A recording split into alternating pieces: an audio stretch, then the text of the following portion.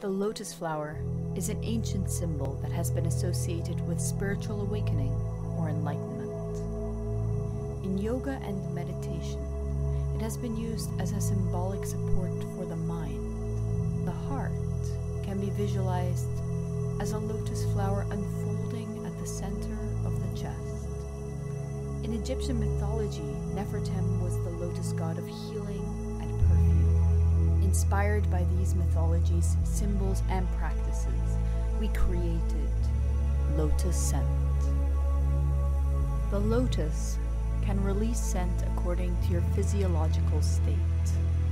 It can detect your heart and breathing rate when holding it in your hands. We also monitor electrical brainwave activity using a flexible EEG headband to predict focus or relaxation and map your mental state in real time to the opening of the VR Lotus flower. If your levels of focus or relaxation are high, the flower will open